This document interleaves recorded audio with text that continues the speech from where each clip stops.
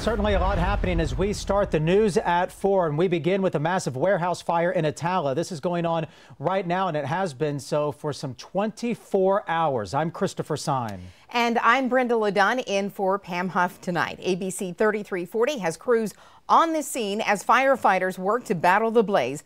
First, we go to Brian, Byron Khalil. Byron, firefighters expect this battle to continue for at least a couple more days.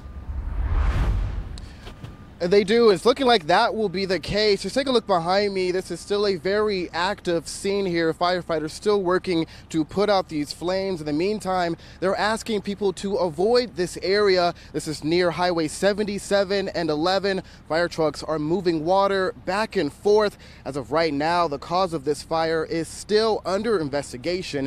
It started around noon on Monday. The firefighters have been working the scene nonstop since. First responders from at least 10 surrounding counties and multiple state agencies have helped out in some capacity, but firefighters say they still have a big hurdle ahead of them. The outer portions of the building is pretty well contained at this point. Our problem is the center of the building is still burning.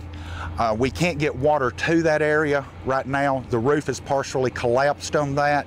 So we're trying to keep the outward areas cool so we don't have too large of a smoke plume.